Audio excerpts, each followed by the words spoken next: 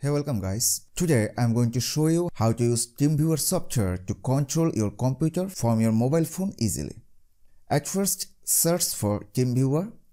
You can see TeamViewer is a remote access and remote control computer software. It supports all the operating systems. Now let's open the TeamViewer software from the official site teamviewer.com. From here you can select your desired project but we will see the pricing first you can select your license as per your needs but you can also use this software for absolutely free for your personal use. And they also offer a free 40 days commercial license and it requires no credit card and no commitments.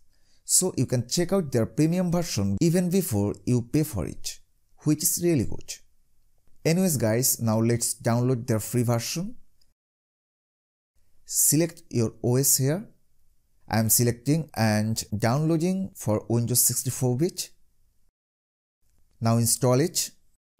Keep default installation here and click on accept next. Keep this default also as it is and click next.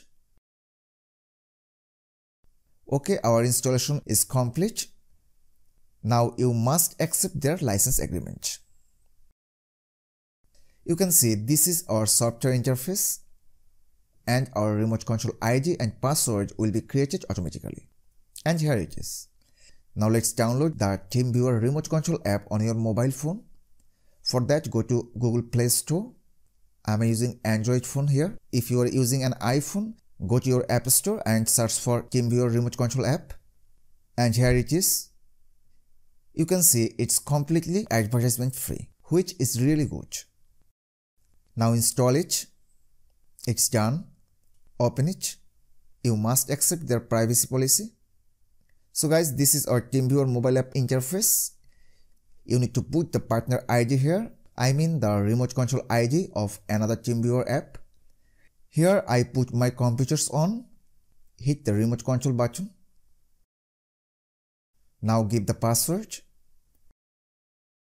And you can see it is connected.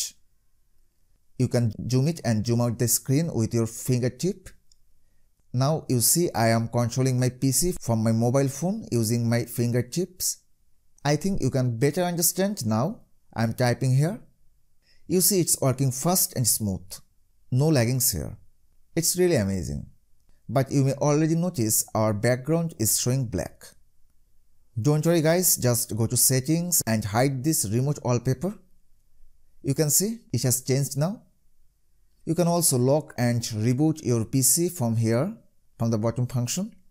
You can also change the interaction mode from touch to mouse, but I think touch is great.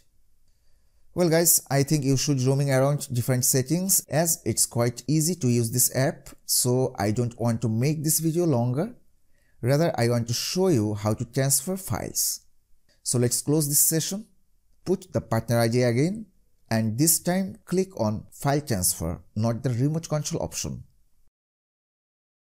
Give the password like before. And you are connected. Now give the required permission, grant access, and you are done. Now go to your phone storage, select the file that you want to transfer, and here click on remote files in the bottom. Here choose the destination and click on this clip sign here and finally click on copy selected file here you see it just appears in my desktop. It's really fast and working perfectly. So guys, TeamViewer is an amazing software. It's really effective for your personal use as well as business purposes. Hope you like this video. In the next video, I will show you how it works from mobile to mobile devices because it's quite different. Thank you so much guys for watching this video so far and don't forget to subscribe my channel and just stay tuned.